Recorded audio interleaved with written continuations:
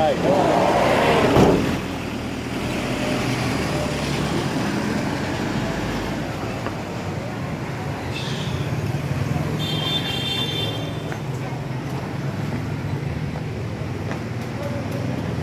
Rồi chào em Anh khỏe Anh bên ờ, Sài Gòn Tourist Một phòng anh Hải á ừ. Khỏe không? Dạ, có một mình hả? Ok Khách sạn Hậu Giang. Mấy sao ta? Dạ ba sao anh ơi? Ba sao quả đẹp welcome